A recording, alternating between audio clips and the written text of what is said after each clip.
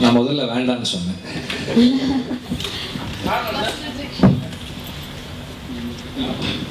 காரணம் என்னவா?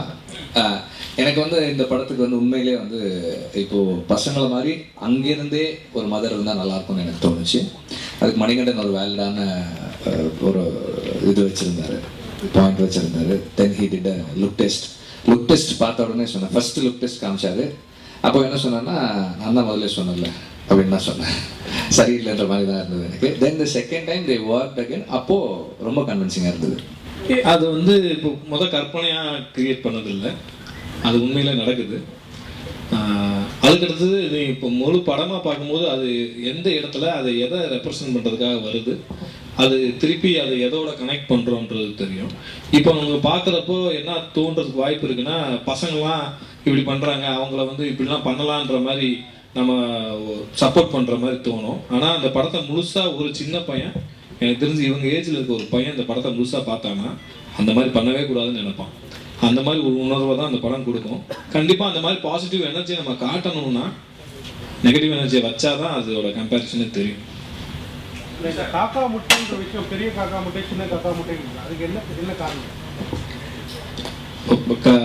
என்ன படம் ரிலீஸ் ஆகிறதுனால என்னால் ரொம்ப எக்ஸ்பிரஸ் எக்ஸ்பிரஸாக பேச முடியாது. ஏன்னா காக்கா முட்டை டைட்டில் வந்து ஜஸ்ட் ஒரு சவுண்டுக்காகவோ இல்லை அது புதுசாக கேட்கறதுக்காக அப்படின்றதுக்காக வச்சது கிடையாது. படம் பார்த்தீங்கன்னா தெரியும். அது வந்து காக்கா வந்து எதை ரெப்ரசன்ட் பண்ணுது அப்படின்றது.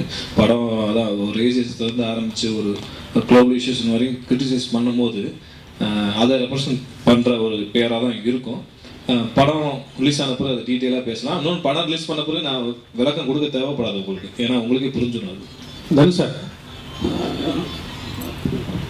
சார் காக்கா விட்ட மாதிரி சின்ன பட்ஜெட்ல இந்த மாதிரி அழுத்தமான கதை எடுக்கிறது பிடிச்சிருக்கா? இல்ல சிவகார்த்தினை வச்சு எதிர் நீச்சல் காக்கி சட்டை மாதிரி பெரிய பட்ஜெட்ல படத்துக்கு பிடிச்சிருக்கா? எது உங்களுக்கு திருப்தி சந்தோஷத்தை கொடுக்குது? எனக்கு படம் எடுக்கிறது பிடிச்சிருக்கு சார். சார். நீங்க ரெண்டு பேர் உங்க ரெண்டு பேர் காம்பினேஷன் எப்போ படம் அடுத்தது. நான் கொஞ்சம் ஸ்லோ அவ்வளோதான் இல்ல ரொம்ப ஸ்லோ ஓகே வச்சுக்கிட்டு வஞ்சனை பண்ணல? வந்தா எடுத்துட்டு போறோம். அவ்வளோதான் இந்த படத்துல இப்போ இப்போ விசாரணைன்னு ஒரு படம் பண்ணிட்டு இருக்கேன் தினேஷோட பண்ணிட்டு இருக்கேன் அது முடிஞ்ச உடனே நாங்க சேர்ந்து ஒர்க் பண்றோம். அனௌன்ஸ்மெண்ட் சீக்கிரம் வந்துடும் தனுஷ் செப்டம்பர்ல ஸ்டார்ட் பண்றோம். தனுஷ் ஒரு கொஸ்டின் நான் வந்து சின்ன காக்கா முட்டை எங்கள் அண்ணன் பெரிய காக்கா முட்டை அப்படின்னு ரியல் லைஃப்பில் நிறைய நடந்தது நீங்கள் ஸோ இந்த காக்கா முட்டை இரண்டாம் பாகத்தில் நீங்கள் நடிக்கிற மாதிரி ஏதாவது ஐடியா இருக்கா? அந்த பசங்க கேரக்டர்ல என்னை யோசிச்சு பார்த்தாலே பயமா இருக்கும். எதுக்குங்க அந்த மாதிரி இரண்டாம் பாகம் எடுக்கக்கூடிய அளவுக்கு சுலபமான படம் கிடையாது. இது ஒரு என்னை பொறுத்த வரைக்கும் இந்த படம் ஒரு ஒரு பெயிண்டிங் அதை அப்படியே விட்டுறது தான் கரெக்டாக இருக்கும் நினைக்கிறேன். நான் சொன்னது எங்கள் லைஃப்பில் நான் எங்கள் இதெல்லாம் எக்ஸ்பீரியன்ஸ் பண்ணியிருக்கோம் நாங்கள் அதெல்லாம் பார்த்துருக்கோம். அந்த வறுமையில் இருக்கிற இன்பம் அந்த ஒரு வாழ்க்கை அது எல்லாமே நாங்கள் நானே அண்ணாவும் ஒன்றாவே பார்த்துருக்கோம். ஸோ அதெல்லாம் நான் மென்ஷன் பண்ணி சொன்னேன். சார் நீங்கள் ஒரு சக்ஸஸ்ஃபுல் ஆக்டர் ஆயிட்டீங்க அப்புறம் ஒரு டைரக்டராகவும் நல்லா பண்ணியிருக்கீங்க அப்படி இருக்கும் பட்சத்தில் வந்து நீங்கள் வந்து நிறைய அறிமுகத்துக்கு ஒரு பிளாட்ஃபார்மாக இருந்திருக்கீங்க. சிவகார்த்திகேயன் போல ஆளுங்களுக்கும் இருந்திருக்கீங்க. இப்போ மணிகண்டன் இந்த பசங்களுக்கும் இருந்திருக்கீங்க.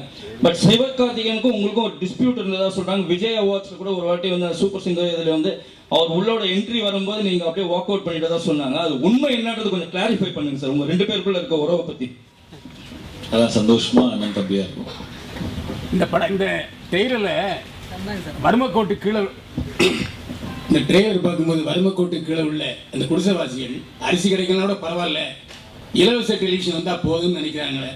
அதுலேயும் மட்டும் இல்லை இலவச டெலிவிஷன் ரெண்டு ஒரே வீட்டுக்கு ரெண்டு கொடுத்துருக்கீங்க. அதையும் அதில் சொல்லிருக்கீங்களா? இன்னும் பல விஷயம் சொல்லிருக்கீங்களா? அவங்க வந்து டைரக்டருக்கான கேள்விதான். அதான் நான் பார்த்தப்போ அதை சொல்லு. நான் பார்த்தப்போ எனக்கு அது அவங்களுக்கு டிவி மட்டும் போதுன்ற மாதிரி வரல.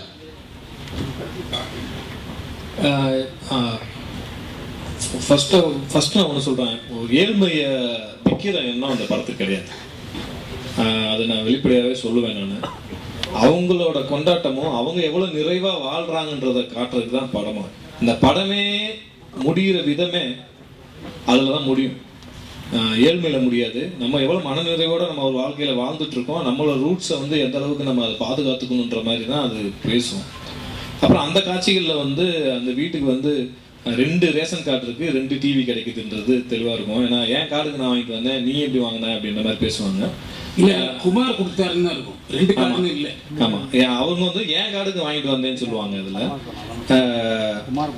அதுல வந்து ஒரு எங்களுக்கு டிவி மட்டும்தான் போதும் டிவி போதும் அப்படின்ற இது எனக்கு தெரிஞ்சு ரிஃப்ளெக்ட் ஆகுற மாதிரி தெரியல. அவங்களுக்கு அரிசி டிவி வந்திருக்கிறத வந்து அவங்கள சந்தோஷமா கொண்டாடுவாங்க. ஏன்னா அந்த சின்ன பையனுக்கு வந்து அவன் கிட்டத்தட்ட அந்த படம் ஏன்னா படம் பார்த்துட்டா அது தெரியாது. ஏன்னா இந்த இந்த பாடல்களுக்கு வர்றதுக்கு முன்னாடி ரெண்டு தடவை கேட்டுருவான். அம்மா டிவி வாங்கி கொடுமா. டிவி வாங்கி கொடுமான்னு கேட்பான். அந்த தம்பி அண்ணன் வந்து என்ன கேட்பான்? அம்மா செல்போன் வாங்கி கொடுமா சொல்லுவான். இப்போ ரெண்டு பேருமே அவங்க டிவியும் செல்போனுமே வாழ்க்கைக்கு ஆதாரமா நினைச்சிட்டு இருக்கிறத நினைச்சிட்டு இருப்பாங்க. அவங்க அம்மாவை கேட்டுக்கிட்டே இருப்பாங்க. அவங்க அம்மா அதை சொல்லிக்கிட்டே இருப்பாங்க. அப்பா வரப்போ வாங்கி தருவாங்க திடீர்னு இப்போ கவர்மெண்ட்ல வந்து அவங்களுக்கு ரேஷன் கார்டு டிவி கொடுக்குறாங்கன்றப்போ அதை ரெண்டு பேருமே கொண்டாடுவாங்க. அந்த வீடே வந்து ரெண்டு டிவினால டப்புன்னு அந்த வீடே ஏதோ அவங்களுக்கு வேற தளத்துக்கு போயிட்டு மாதிரி ஒரு உணர்வை கொடுக்கும். மற்றபடி அந்த மாதிரி ஒரு எண்ணத்துல அது ரிஃப்ளெக்ட் ஆகாது படம் பார்க்குறப்போ. தேங்க்யூ ஸோ மச் சார் தங்களின் கேள்விகளுக்கு மிக்க நன்றி. சென்னை சைதாப்பேட்டையில் வந்து ஷூட் பண்ணோம் சிக்ஸ்டி பர்சன்ட் அப்புறம் சில ஸ்ட்ரீட்ஸ் இதெல்லாமே வெளியே ஷூட் பண்ணோம். ட்ரெயின் போர்ஷன்ஸும் வேறு வேறு இடங்களில் பிரிமிச்சு கிட்டத்தட்ட ஒரு ஆறு ஏழு லொக்கேஷன்ஸ் வந்து கம்பைன் பண்ணியிருக்கோம் ஏன்னா அது ஜியோகிராஃபிக்கலாகவே அது கொஞ்சம் கனெக்ட் பண்ணணும் கதைக்குள்ள அப்போ அங்கே மெயின் மெயின் ரோடுக்கு வந்து அங்கே போனால் அங்கே ஒரு கடை ஓப்பன் பண்ணியிருப்பாங்க அந்த மாதிரி இருக்கும். ஃபுல்லாக சென்னை தான். ஒரு ட்ரெயின் போர்ஷன் மட்டும் வெளியே எடுத்துடலாம்